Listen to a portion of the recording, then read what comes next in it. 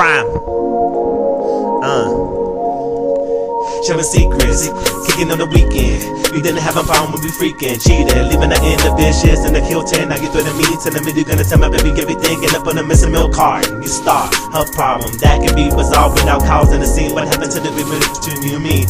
I guess it ain't really but a scene. Grass ain't green on your neighbor's lawn. Uh, get past the fact that I moved on.